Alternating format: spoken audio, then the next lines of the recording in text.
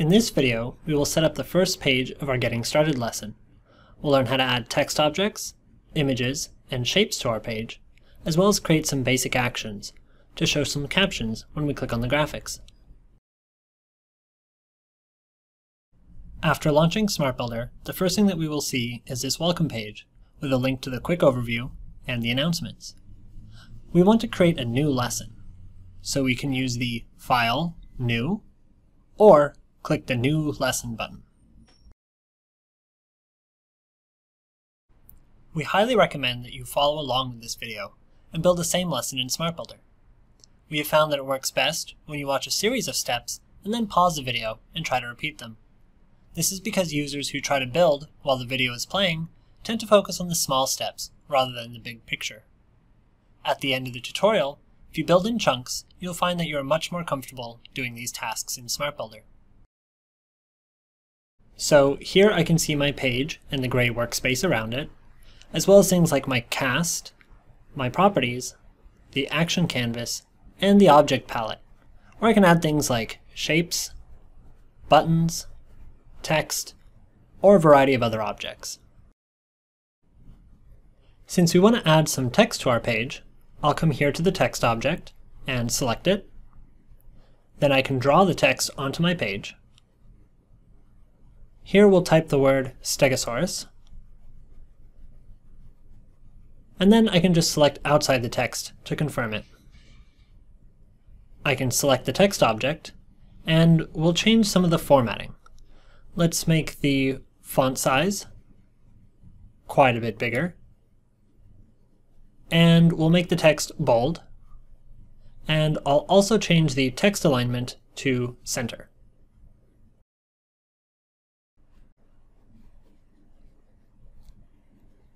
Now we want to create our second text object. So I can copy and paste this text to keep all the same formatting. I can come up to my copy icon and use my paste icon. I'll move this over to the side and then double click to select my text and type my new text over it.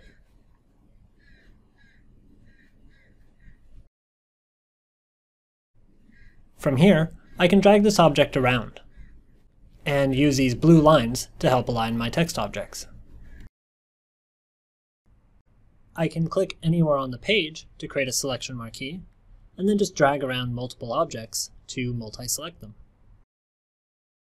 Once they're multi-selected, I can move them around together.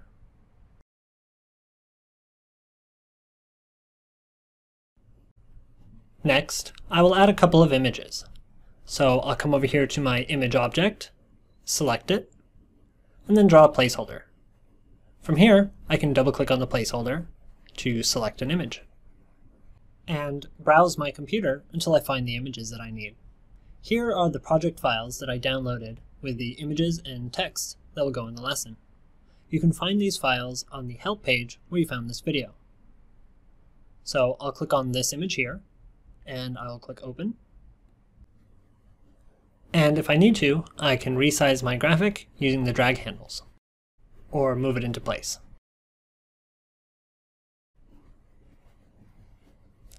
I'll do the same thing for the Triceratops. I can click on the image object, and this time I will just click to add my placeholder. That will create a placeholder at the default size. I can double click to choose the image that I want,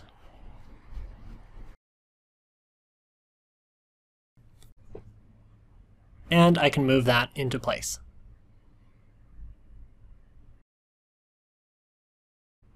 If I want to, I can resize. By using the corner drag handles, it will maintain the same aspect ratio. If I did want to squish or elongate my image, I can grab one of the side handles and change the size that way. To undo my changes, I can come up here to the undo icon to get back to where I was. Before we move on, it's a good idea to save my work. So I'll come up to the Save icon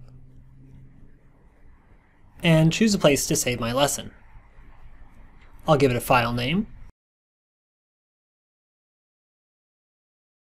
and then click Save.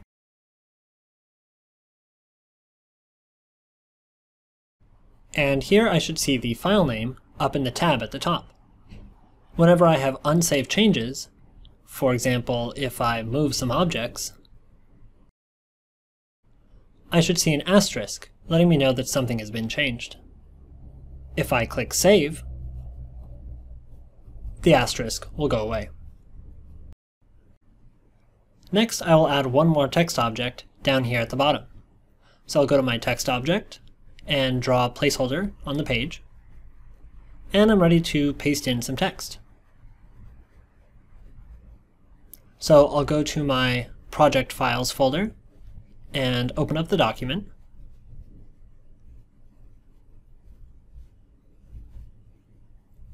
And I will copy some text. And then move back to SmartBuilder. And I'll paste that into my text object using Control V. And then I can change some of the formatting. So I'll make the text alignment center. Next, we'll want to add a little bit of interactivity. What I want is when the learners click on one of the dinosaurs, a little caption bubble will show up. So in order to create that, first I need to create my caption bubbles. We'll find those over in the shape palette. There's some different callouts that I can use, and in this case, I want to use an oval callout. So I'll click on that, and then draw one on the page. From here, I can resize it and position it. And I can grab the little yellow morph point and change where the spike is pointing to. So that looks pretty good, but the colors are not quite what I want. So I can come up here to the Style icon, or go over to the Properties panel and change the style from there. I'll do this from the icon. So I'll click on the icon and get my select style pop up. And from here, I can click on these different styles until I find one that works for me.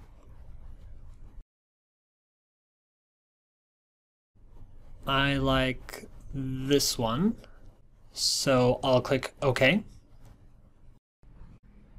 To enter some text, I can simply click on the shape object, and I'll get a cursor, or I can just start typing while the object is selected.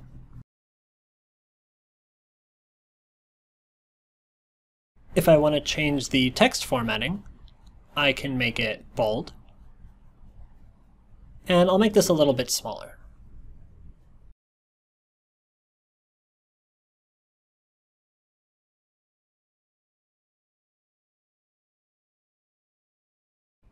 Next, I'll copy and paste to create my second callout for the Triceratops. So I'll right-click and say Copy, and then right-click and say Paste. To change the text, I can just double-click.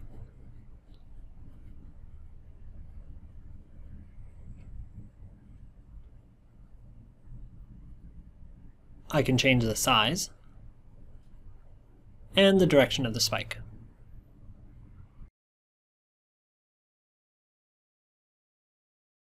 If I were to preview this right now, this is what my learners would see.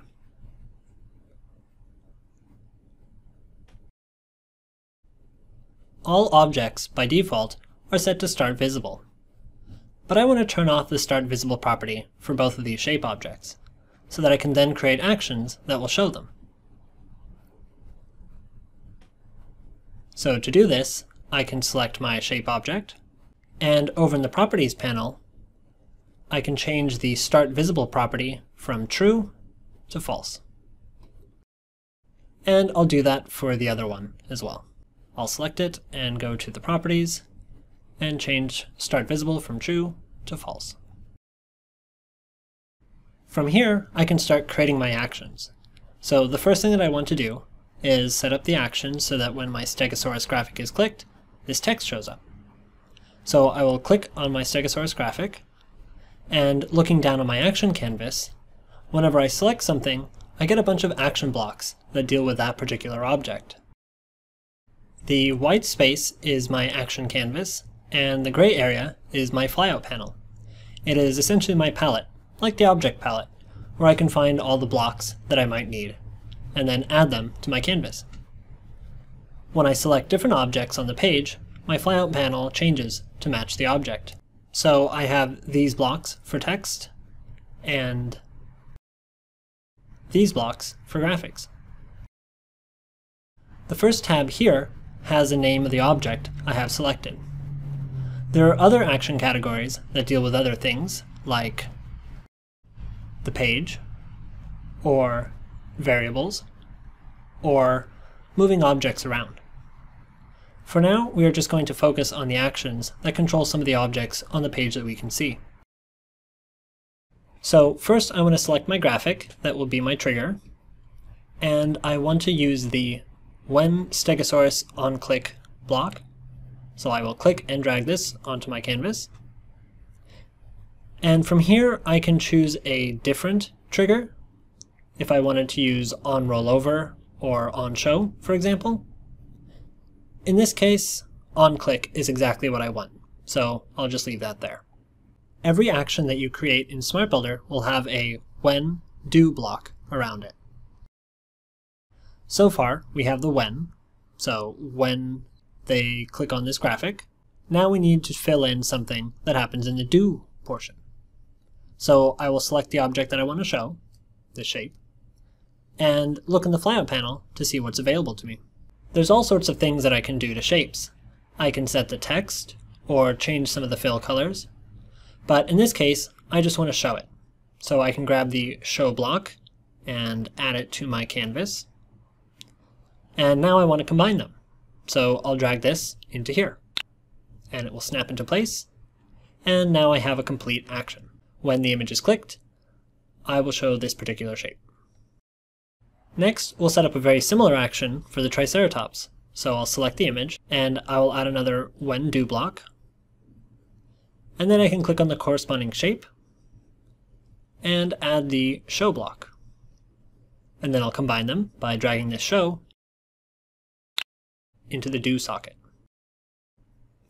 If I wanted to, I could also add other show, hide, or various other response blocks, and start building more complicated actions this way. So, for example, if I wanted to hide this one when I show the other one, I can combine them like that. Now, when the Triceratops is clicked, it'll show one shape and hide the other. But in this case, I don't really need it to. So let's delete this block by dragging it into the trash. Let's check our work. I'll come up here to the preview icon. And now I can click on my images and my caption bubbles will show. The final thing that we can do is to add an effect on those show actions. Rather than just having the object appear abruptly, I can change the dropdown and choose fade as the effect. I'll do that for both. And then preview again. And now when we select an image, the captions show up with a nice little fade transition. And with that, we're done with our first page. Make sure to save your lesson. And in the next video, we'll look at creating a presentation using a timeline.